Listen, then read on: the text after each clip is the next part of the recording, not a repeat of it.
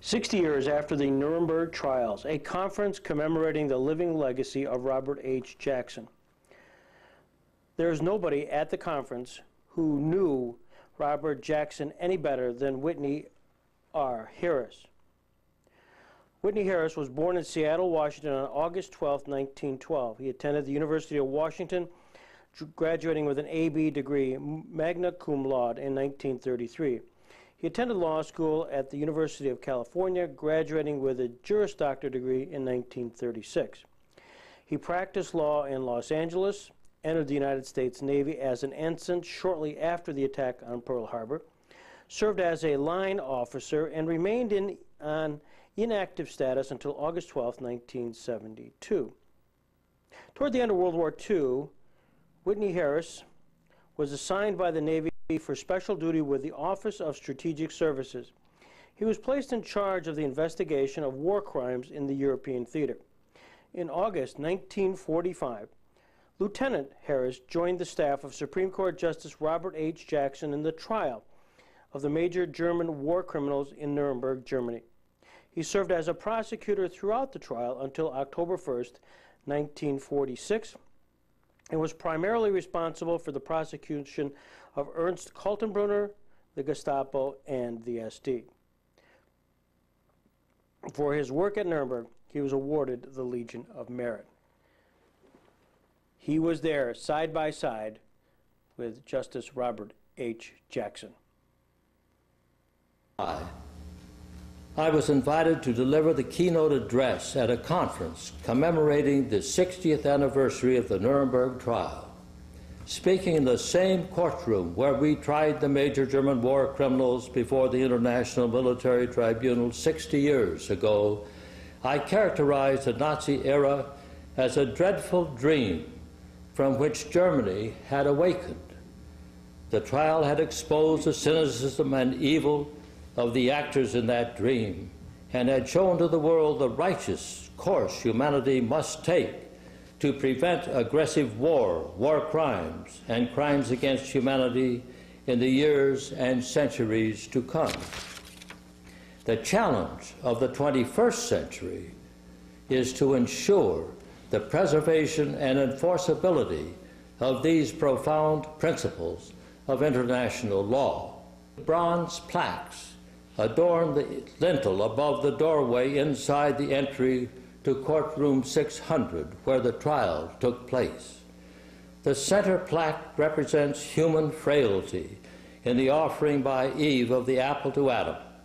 On one side is the Roman fasces for authority, and on the other, a kneeling figure holding a sword representing justice. In that courtroom, 60 years ago, justice vanquished authority.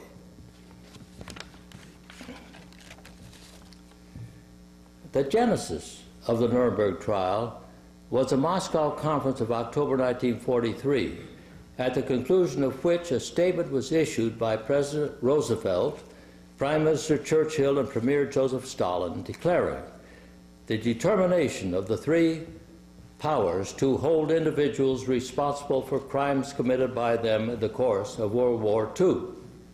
The statement warned that officers and men and members of the Nazi Party who were responsible for or took a consenting part in atrocities, massacres, or executions would be punished by joint decision of the Allies. The statement concluded, most assuredly, the three Allied powers will pursue them to the uttermost ends of the earth and will deliver them to their accusers in order that justice may be done.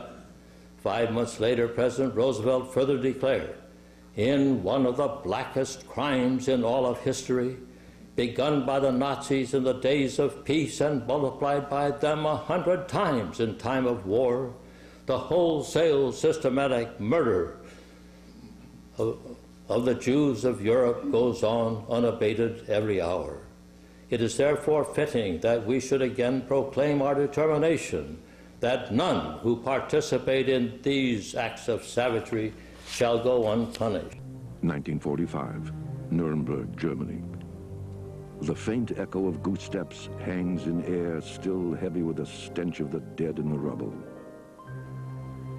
The Klieglit flags and massed stormtrooper banners are gone. The hoarse roar of cheering voices is stilled. The sea of ramrod arms raised in salute has evaporated. And in the wind is the howl of the dead for revenge. In the ruins of Berlin, much of the top Nazi leadership, fearing the rough and ready justice of the approaching Russians, would take refuge in death. Suicide has been the escape of Adolf Hitler, Joseph Goebbels, and the icy SS sadist Heinrich Himmler. But a few already dead monsters at the top would not be enough to satisfy what would be the judgment of the century. There was a, a strong sentiment um, at, at, the end of the war when the Nazi depredations, the atrocities were revealed, to, to carry out drumhead justice, to put the Nazis up against the wall, shoot them. In the United States, the Secretary of Treasury, Morgenthau, uh, felt that uh, this was the right procedure. In fact, uh, Morgenthau advocated that the entire Ruhr Valley be devastated and that Germany be reduced to a purely pastoral or agricultural state. Morgenthau was opposed in the United States by Secretary of War Henry L. Stimson. Stimson believed that the German war criminals should be dealt with only by trial before an international military tribunal. Stimson's view was that to punish these men after a trial would stand better in history. Moreover, that this process would develop a record of Nazi criminality which would stand in history. Stimson's views ultimately prevailed in the United States. The laws of God and of man have been violated, and the guilty must not go unpunished. On May 8, 1945, President Truman appointed Supreme Court Justice Robert H. Jackson as the United States Chief of Counsel with the mission of bringing together the four major powers in developing a agreement for the trial of the major German war criminals. He also said that this must be a real trial, not a show trial, not a Stalin trial, but a trial which could result in acquitting a defendant if the evidence did not show guilt. There were hundreds of thousands of foot soldiers, let's say, of Nazism who carried out the, uh, the mass executions, operated the gas chambers, shot the hostages, and so on. But what about the top leaders? How did you convict them? None of them uh, shot the bank guard, blew the safe, or drove the getaway car. Their hands were clean. There, there existed no international uh, court. There, inter there, existed at the time uh, they were preparing for the trial no body of law. There existed no judges. There existed no courthouse. Uh, the, the instruments for trying uh, a drunk driver in any part of the United States were more complete than the instruments for trying mass murderers in Europe at the end of World War II. So they started from scratch. A lawyer in the War Department by the name of Murray Bernays was given the task of devising some kind of philosophy for this trial. Bernays came up with a brilliant idea, uh, which was the conspiracy theory, that the whole Nazi movement was just not simply a po legitimate political movement, but it was a criminal conspiracy designed to seize the territory of Germany's neighbors, to steal from these nations their wealth and their people, and to exterminate their Jews. And this conspiracy theory meant that by being a part of the Nazi leadership, you were part of a criminal conspiracy, and it was a net that held these people. It was agreed that three major types of crimes would be charged against these individuals. The first was the crime of waging aggressive war. The second was ordinary war crimes. And the third, crimes against humanity committed in the course of the war. The indictment would reach unprecedented size with the declaration that the whole Nazi apparatus of repression and aggression would be indicted as criminal as well including the Nazi Party leadership, the High Command, The Reich Cabinet, the Gestapo, the SS, with its hundreds of thousands of members, and the SA Brown Shirts, whose rolls numbered above four and a half million.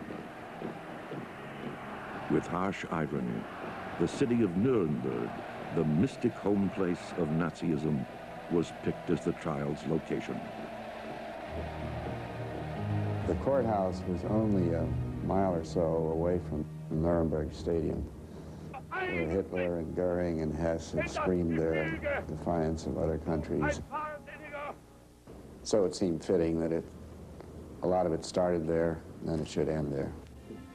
One of the few almost intact structures was the old Palace of Justice, an imposing building of great size with a commodious cell block and fine security. They took the adversary system of Anglo-Saxon justice used in England and, our country, which meant uh, having a prosecutor contesting a defense counsel. Then they borrowed from the continental system the idea that judges will receive the evidence and make the determination rather than a jury. So you had a hybrid continental and Anglo-Saxon court. Everything new, never tried before. One of the major questions is who's going to be brought to trial? And the British had a list, the French had a list, the Russians had a list, we had a list. At times that list may have been as long as 100 people. A compromise was reached and 22 uh, prisoners were indicted. The majority of the defendants were provided by the American side. Why? Because we held most of them. We had them in our POW cages. The Russians were a little bit miffed at this. From his opening statement and on throughout the proceedings, Justice Jackson's startling eloquence would burn the trial into history.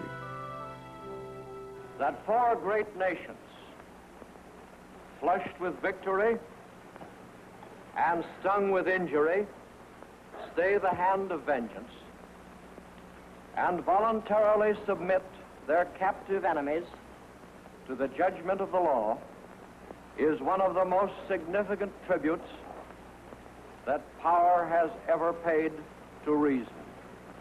The chief defendant stood accused of enough guilt to warrant 20 million murder trials. Even brought to bay, they exuded defiance. Hermann Wilhelm Goering, former Reich minister and number two to Hitler, would prove an unpleasant surprise for the prosecution. Confounding his image as a bloated, hedonistic clown, he would spring a steel-trap mind and intimidating personal force to boldly rally the accused in a fight for their lives. Rudolf Hess, third highest in the original Nazi power bloc, sporadically mined madness. But the Russians had special reasons to want his blood.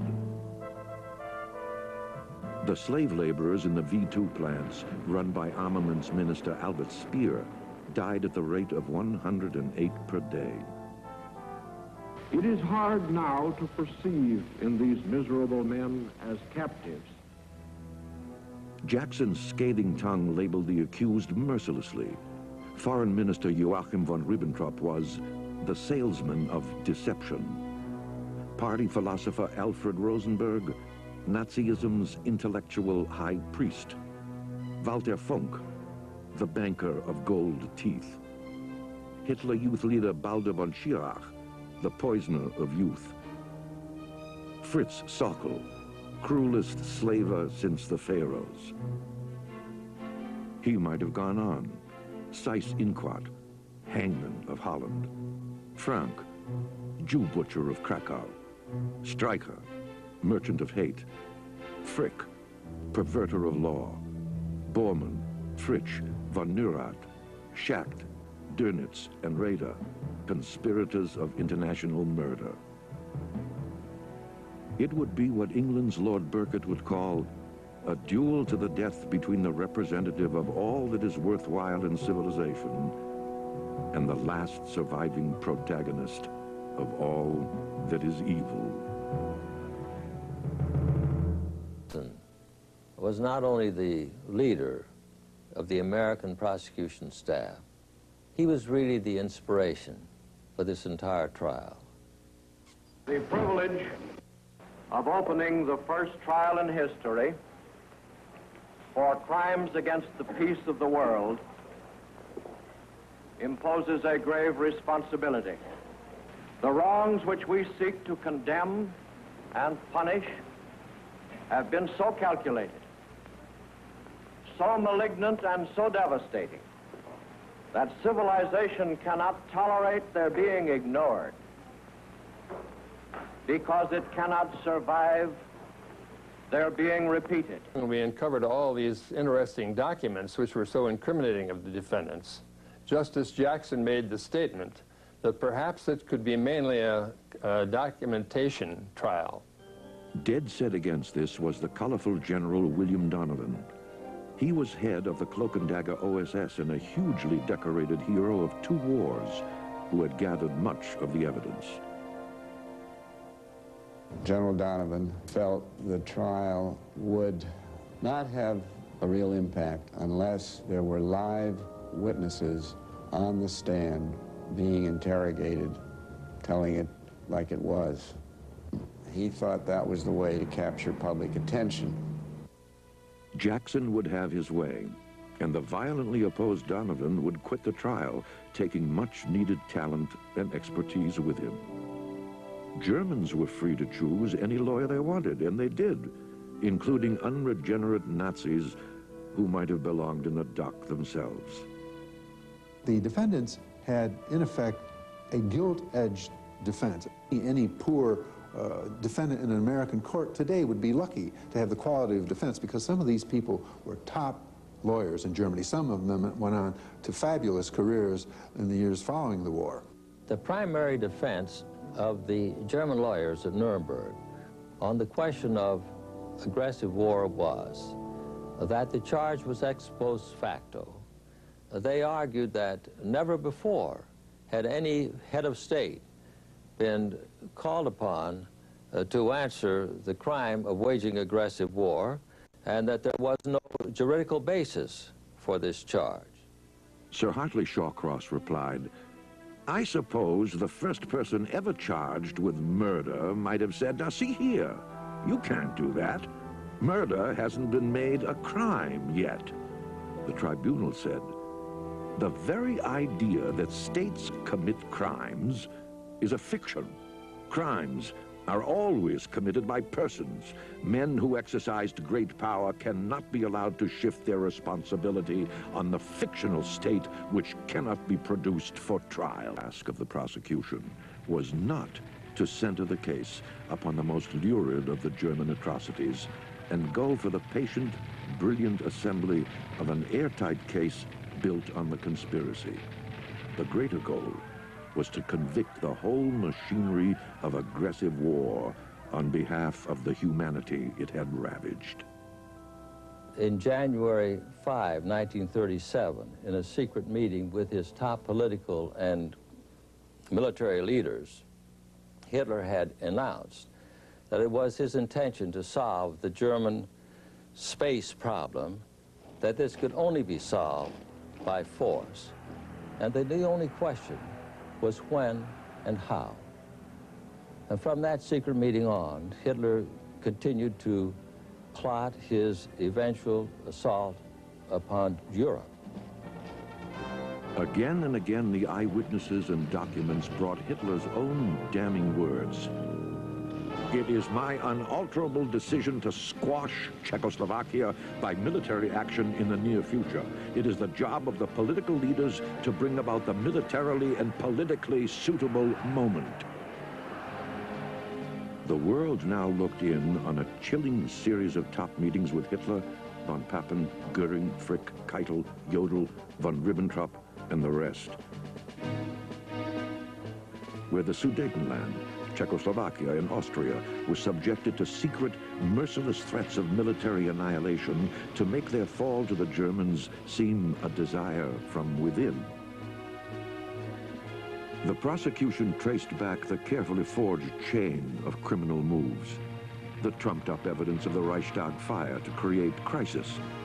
The orchestration against perceived enemies of the Reich, trade unions, the churches, Beginning with the Nuremberg Laws of 1935, Jackson dug into the campaign against the Jews, the legislation destroying their property and civil rights.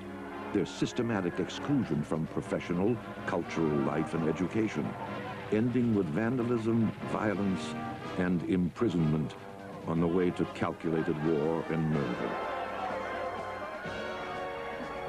Goering had summed it up. He said, I would hate to be a Jew in Germany today.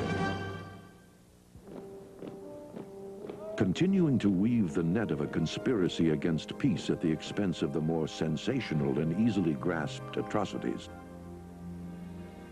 Prosecutor Robert Jackson pressed doggedly through the aggressive war charges. One by one, he documented the incriminating secret maneuvers of Adolf Hitler, each aimed at naked aggression and provable by a trail of evidence. Documents under Hitler's signature read, no question of sparing Poland. We are left with the decision to attack Poland at the first suitable opportunity. He would say, I am only afraid that at the last moment some Schweinehund will make a proposal for mediation. The details that emerged were dry but unmistakable. How the men in the dock had cynically, murderously pushed an entire world toward devastation. The evidence showed that military destruction had not been enough for the Nazis. Plans in place set in motion a systematic annihilation of intelligentsia, nobility, and clergy. The Jews and Gypsies would have their own hideous attention, losing six million and 500,000 lives, respectively. Directives were found that invited the lynching of Allied airmen without interference from the police. Other decrees ordered labor czar Fritz Sauckel to deliver five million captive workers into slavery that was often a death sentence. A Nacht und Nebel, or night and fog order, had the promotion of pure terror at its roots. People disappeared forever without charge or trial.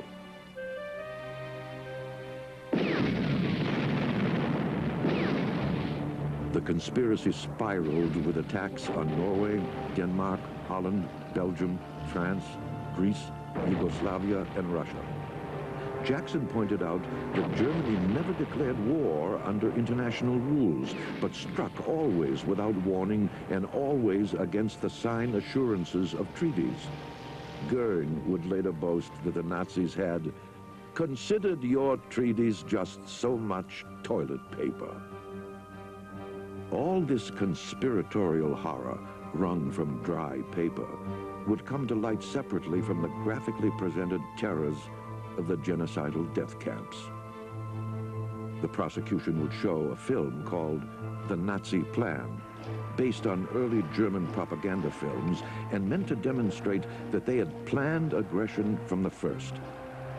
Its effect on the defendants was electric and jocular. Schirach thrilled to his marching Hitler Youth. Goering gleefully shouted the name of each plane and pilot he recognized. He whispered, even Justice Jackson will want to join the party now. Schacht, watching his war production glorified, asked, Can you see anything wrong with that? And awed, von Ribbentrop breathed, Couldn't you just feel the force of the Fuhrer's personality? The mood of the defendants changed sharply when the film turned to the cruel and humiliating kangaroo court trial of those accused in the bomb plot against Hitler. As the Nazi prosecutor screeched abuse, the accused at Nuremberg soberly contrasted the vicious justice of the Third Reich with the even-handed tone of their own trial. Jackson, the brilliant rhetorician, was less skilled in the courtroom arts of cross-examination. His shortcomings were often shared by lesser prosecutors who became tangled in droning details. World interest waned. The fear of, of Justice Jackson was that the moral authority would just leak out of this trial as it dragged on and on and on. In the end, it lasted 11 months. He attempted to try to stifle the uh, amount of just sheer paper that the German defense could introduce. Jackson began to see the International Military Tribunal as foes arrayed against him. Especially vexing were his fellow American Francis Biddle and the Englishman, Sir Geoffrey Lawrence. Lawrence wanted to rob the defendants of any capacity to claim that they weren't given a, a complete defense. Goering has just testified uh, on his own behalf, and then he's being cross-examined by Justice Jackson. This is the dramatic high point, and everyone is waiting to see how the champion of justice and democracy deals with the, the champion of Nazi evil.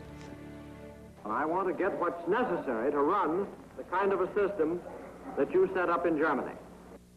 Goering has a leg up in this thing because Justice Lawrence keeps ruling that Goering must be allowed to say as much as he wants to say. The usual rules of cross-examination are that the prosecutor is able to, to crowd the witness, to keep pushing him with relentless questions towards a trap and then spring the trap. But when Goering could virtually deliver lectures on the political science of Nazi Germany, Jackson was never able to crowd him like that.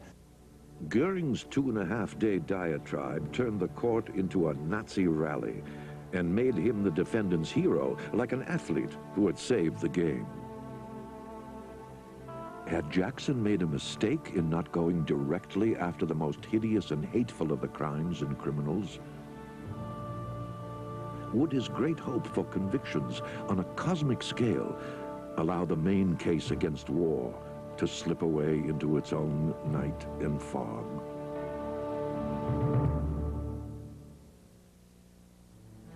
Between the enormous scope of Robert Jackson's indictment, American technical miscues in prosecution, and the surprising fairness of the proceedings, the Nuremberg defendants began to believe that they might yet prevail. But now the tide turned with the shocking testimony of the Nazi butchers who had run the concentration camps and extermination squads. Their testimony jolted the world back to attention. Almost offhandedly, Gestapo officer Otto Ohlendorf made his admissions. How many men, women, and children did you kill during that year? And he answered, 90,000. With that information, we were able to develop that contemporaneously with the German assault against Russia, four special action groups of the Gestapo and SD were sent into the occupied territories behind the German armies with, with the specific purpose of rounding up and killing all Jews and gypsies, intelligentsia that they could get their hands on. The estimate is that two million people were killed by these special action groups. Ferdinand Höss was the commandant of Auschwitz. Höss explained his mission in great detail and without any great emotion. He had been called to Berlin by Heinrich Himmler, and Himmler had explained to him that there was a secondary war involving the struggle between the Germans and the Jews, that if Germany did not deal with the Jews at this time, the Jews would certainly destroy Germany. And it was Höss's mission to establish at Auschwitz an extermination center it is the most devastating confession of murder by any individual in the history of mankind. The prosecution introduced a film called Nazi Concentration Camps, a compilation of death camp horrors which was assembled by America's noted film director George Stevens. Many of these scenes were being shown to the world for the first time and produced unimaginable revulsion. Weeping, broke out in the courtroom. Women fainted. And time after time, the words of the leaders and followers who had caused it all arose from written records to condemn them. Himmler had summed up the ethic. I did not feel justified in exterminating the men while allowing their children to grow up to avenge themselves. General Jodl said, if we had disobeyed, we would have been arrested and rightly so. Höss quoted his boss Adolf Eichmann as saying, he would leap laughing into the grave because the feeling that he had five million people on his conscience would be a source of extraordinary satisfaction. The prosecution now began systematically to demolish the wall of just following orders that the High Command had tried to build around itself. Prosecutor Telford Taylor would say that men who commit crimes cannot plead as a defense that they committed them in uniform, and that military men are not a race apart, men above and beyond the moral and legal requirements that apply to others incapable of exercising moral judgment on their own. It was pointed out to Keitel and Jodl that when Field Marshal Erwin Rommel had received the supposedly inviolable order to execute all commandos as captured, he had promptly and contemptuously burned it and to weigh judgment. In stark coincidence, on the day the prosecution concluded its case, Winston Churchill made his bombshell Iron Curtain speech in Fulton, Missouri, effectively launching the Cold War extended across the continent. Well, this is what the Nazi defendants had figured would happen all along, that at some point the West would wake up to the fact that the Germans were not their real enemies, that the communists were their real enemies. And when Churchill made that speech, that seemed to confirm all of their uh, convictions, and they really thought that at this point they could not uh, be convicted, they would not be uh, condemned, they would not be executed. Hess whispered to Goering, you will yet be Fuhrer of Germany. The whole process took oh, perhaps about a month, during which, when the judges were in their chambers, they were going over the guilt or innocence of these people. And they did a very conscientious job. On October 1st, 1946, after 315 days of trial, the sentences were pronounced. Hermann Wilhelm Goering on the counts of the indictment on which you have been convicted, the tribunal sentences you to death by hanging. Joachim von Ribbentrop, death by hanging. Fritz Sauckel, death by hanging. Julius Streicher, death by hanging. Wilhelm Frick, death by hanging. Hans Frank, death by hanging. Alfred Rosenberg, death by hanging. Wilhelm Keitel, death by hanging. Ernst Kaltenbrunner, death by hanging. Also sentenced to death were Jodl, Seyss Inquart, and Martin Bormann, who was tried in absentia. Hess, Funk, and Raeder got life prison terms. Speer, von Schirach, von Neurath, and Dönitz got long sentences. Fritzsche, von Papen, and Schacht went free. All indicted organizations except the SA were convicted, as were the General Staff and High Command and the Reich Cabinet. Interestingly, the, um, the defendants at the end of the trial, while they railed at the jurisdiction of the court, that the court had no right to try them, most of them were very grateful and expressed their gratitude uh, for the defense they had uh, received the latitude of defense that their counsels were granted. The defendants' reactions ranged from cringing to venomous. Fritzsche muttered that he was drowning in filth. Frank said, a thousand years will pass and Germany's guilt will not have been erased. But Goering thought that 50 years from now there will be statues of me all over Germany. Although his absence from Washington had cost Robert Jackson his dream of becoming Chief Justice of the United States, he called his time at Nuremberg the most important and enduring work of my life. Stands firmly against the resignation of man to the inhumanity of man. This brings us to the point that the really the most important thing that was achieved at Nuremberg was not the conviction of these men, and not the sentences imposed, but the determination for history that waging aggressive war is a crime. United States Navy throughout the war. Toward the end of the war, I was uh, transferred to the Office of Strategic Services, OSS, and placed in charge of the investigation of war crimes in the European theater. And I was engaged uh, in this assignment when representatives of the Allied powers met in London for the purpose of drafting an agreement for the trial of the top leaders of Nazi Germany. I was invited to join the American prosecution staff and was in the first group of prosecutors to go to the site of the trial, Nuremberg, Germany, in August 1945. As Greg said, I was assigned the case against the Gestapo and SD, and Ernst Kaltenbrunner, the chief of the Reich uh, main security officer, RSHA, and presented in court the first case against any individual defendant. It was in the course of these duties that I helped uncover the dreadful facts which we now call the Holocaust. This was the work of the Einsatzkommandos to follow the German armies as they advanced on the Eastern Front, seizing Jews from their homes and taking them and other Nazi undesirables into the fields to be murdered. But as the war progressed, the Nazis found need for permanent installations to house, exploit for labor, and ultimately to murder these victims of Nazi insanity. Concentration camps already existed to imprison perceived enemies of the state.